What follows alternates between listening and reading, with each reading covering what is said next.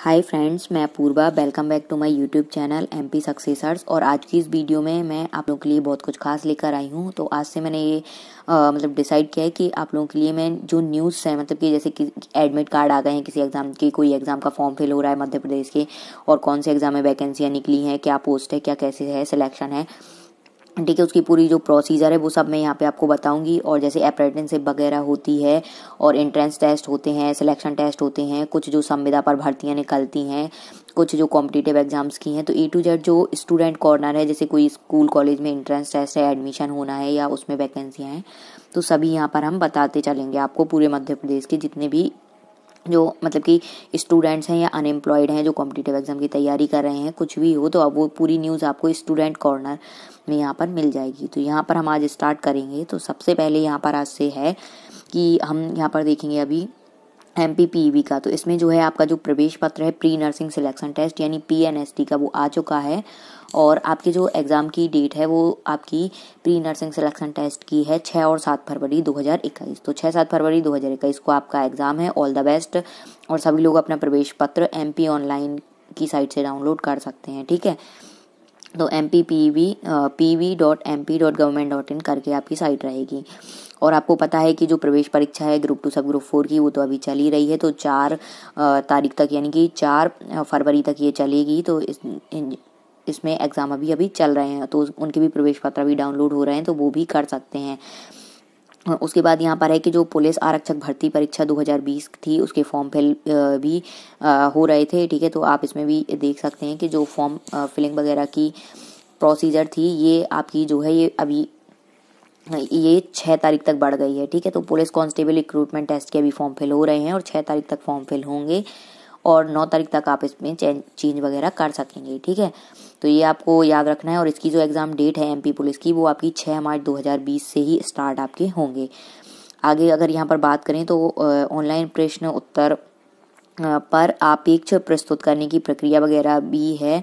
इसमें ये सब पूरा डिटेल में दिए हुए तो ये आप लोग देख सकते हैं पूरा डिटेल एमपी ऑनलाइन की साइट पर। अगली न्यूज़ यहाँ पर है तो वो है आपकी एमपी ऑनलाइन पोर्टल की।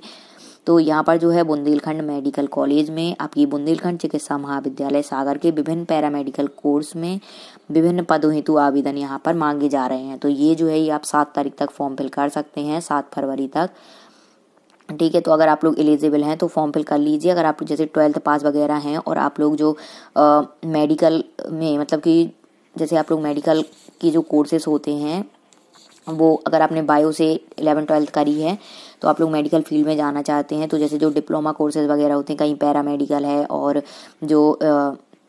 मतलब कहीं तीन साल का डिप्लोमा या दो साल का डिप्लोमा होता है, कभी एक साल का होता है, जैसे आपका लैब टेक्नीशियन वगैरह की है तो इनकी पोस्ट पर भर्ती मतलब भर्ती नहीं निकली, ये आपको डिप्लोमा कोर्सेज के लिए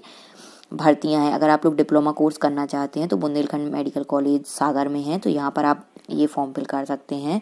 और डिप्लोमा यहाँ से अपना कंप्लीट कर सकते हैं। और भी अन्य डिप्लोमा हैं तो आप लोग एम पी ऑनलाइन की साइट पर देख सकते हैं और वहाँ जाकर डिटेल में कर सकते हैं और आवेदन कर सकते हैं। अगली न्यूज़ है यहाँ पर पश्चिम मध्य रेलवे जबलपुर में अप्रेंटिसशिप की निकली हुई है। अगर आपने आई टी आई कंप्लीट करी हुई है और आप अप्रेंटिसशिप करना चाहते हैं तो अच्छी अपॉर्चुनिटी है ये। एक साल के लिए अप्रेंटिसशिप है तो इसका जो है रजिस्ट्रेशन वगैरह और जो फॉर्म फिलिंग है वो आपकी सत्ताईस फरवरी तक आप लोग इसमें कर सकते हैं अप्लाई तो अगर आपने आई करी है किसी भी ट्रेड से तो आप यहाँ पे जाकर सर्च कर सकते हैं कि कौन कौन से ट्रेड से है, जैसे मैकेनिक डीजल और लोकोमोटिव और भी जो है इलेक्ट्रिकल इलेक्ट्रॉनिक्स वगैरह, सभी पर निकली हुई हैं और ये अप्रेंटिसशिप एक अच्छा मौका रहता है और इसमें आप लोगों को सैलरी वगैरह भी मतलब कि तो यहाँ पर आप जो पोस्ट है, निकली हुई है अप्रेंटशिप की, इसमें अप्लाई कर पाएँगे और यहाँ पे अप्रेंटशिप में आपको स्टाइपेंड वगैरह भी दिया जाता है, जिसमें आपको सैलरी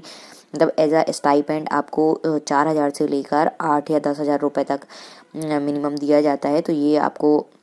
सिलेक्शन और पूरी प्रोसीजर जो है वो आप यहाँ से जाकर देख सकते हैं कितना रहेगा और एक साल का ही रहता है। तो ये अच्छी अपॉर्चुनिटी है आप लोगों के लिए। नेक्स्ट यहाँ पे जो आ, मतलब वैकेंसी है और वो है यहाँ पर कि मध्य प्रदेश राज्य मुक्त स्कूल शिक्षा बोर्ड भोपाल के द्वारा जो आपका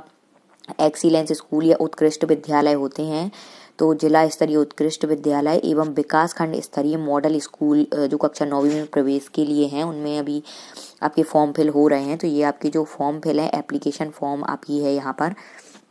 पाँच दो दो हज़ार इक्कीस तक आप फॉर्म फिल कर सकते हैं और फॉर्म में चेंज भी आप पाँच दो दो हज़ार इक्कीस तक कर सकते हैं। जो एक्सीलेंस स्कूल होते हैं, ज़िले में ये अच्छे हैं आप लोगों के लिए, अपॉर्चुनिटी अच्छी है स्टूडेंट्स के लिए, जो एट्थ क्लास में हैं अभी तो उनका जो एग्ज़ाम है वो आपका मतलब कि अट्ठाईस तारीख को है। आपका जो एग्ज़ाम है वो अट्ठाईस फरवरी को है, ठीक है? तो ये पड़ेगा। तो अभी आपके पास बहुत कम टाइम है। अगर आप लोग फॉर्म भरना चाहते हैं तो भर लीजिए। इसमें आपको नाइन्थ टू ट्वेल्थ तक क्लास रहेंगी। हिंदी, इंग्लिश दोनों मीडियम में रहते हैं तो अच्छी अपॉर्चुनिटी रहेगी। गवर्नमेंट स्कूल से आपको ट्वेल्थ तक पढ़ाई करने का। ऐसी फिफ्थ टू एट्थ क्लास में अगर आप लोग इन्हीं मॉडल स्कूल एस और एस में एडमिशन लेना चाहते हैं, जो अपकमिंग दो हज़ार इक्कीस बाईस के सेशन है तो उसके लिए एग्ज़ाम फॉर्म आप भर सकते हैं दस दो दो हज़ार इक्कीस तक, ठीक है? तो दस फरवरी तक आप उनके भर सकते हैं और इसकी एग्ज़ाम डेट अभी अनाउंस हो गई होगी तो आप लोग देख सकते हैं उसकी एग्ज़ाम डेट पूरा आपको शेड्यूल एम पी ऑनलाइन की साइट पर ये अवेलेबल रहेगा। तो आज की ये न्यूज़ इतनी थी नेक्स्ट कल हम मिलते हैं, नई न्यूज़ लेकर थैंक यू